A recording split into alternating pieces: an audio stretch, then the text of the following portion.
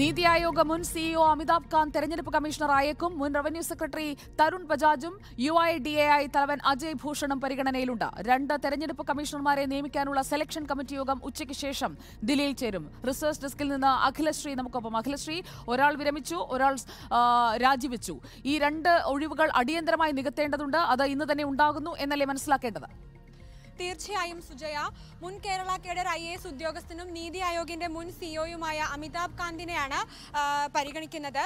നീതി ആയോ ഉച്ചയ്ക്ക് പന്ത്രണ്ട് മണിക്ക് പ്രധാനമന്ത്രിയുടെ അധ്യക്ഷതയിൽ ഒരു സെലക്ഷൻ കമ്മിറ്റി യോഗം ചേരുന്നുണ്ട്. ഇതിന് ഇതിലൊരു കേന്ദ്ര മന്ത്രിയും ഉണ്ടാകും. അതോടൊപ്പം തന്നെ പ്രതിപക്ഷത്തെ പ്രതിനിധീകരിക്കുക അധീർ രഞ്ജൻ ചൗധരി ആയിരിക്കും. പക്ഷേ അദ്ദേഹം പങ്കെടുക്കില്ല എന്ന് അറിയിച്ചിട്ടുണ്ട്. നിലവിൽ മുഖ്യ തെരഞ്ഞെടുപ്പ് കമ്മീഷണർ രാജീവ് കുമാർ മാത്രമാണ് ഇപ്പോൾ കേന്ദ്ര ഇലക്ഷൻ കമ്മീഷനിലുള്ളത് മറ്റൊരു ഓ, കമ്മീഷണറായിരുന്ന അരുൺ ഗോയൽ കഴിഞ്ഞ ദിവസം രാജിവെച്ചിരുന്നു.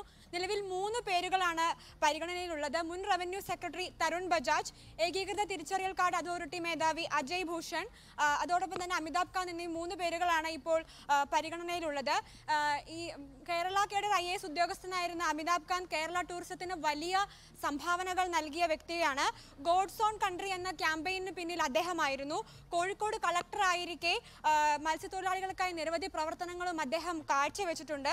അടുത്ത കാലത്തുകൂടെ തന്റെ ജീവിതത്തിൽ ഇത് കോഴിക്കോടെ മത്സ്യത്തൊഴിലാളികളുടെ ഒപ്പമുള്ള പ്രവർത്തനങ്ങൾ അവിസ്മരണീയമാണെന്ന് അടുത്ത കാലത്ത് കൂടെ അദ്ദേഹം അതിനെ കുറിച്ച് അതിനെക്കുറിച്ച് സംസാരിച്ചിരുന്നു. കേന്ദ്ര ടൂറിസം സെക്രട്ടറി ആയിരിക്കെയായിരുന്നു അദ്ദേഹം ഇൻക്രെഡിബിൾ ഇന്ത്യ എന്ന ക്യാമ്പയിന് നേതൃത്വം നൽകിയത്. ഏതാനും സമയങ്ങൾക്കകം ഇതിനെ സംബന്ധിച്ച് ധാരണയാകുമെന്നാണ് വിവരം. സുജയ.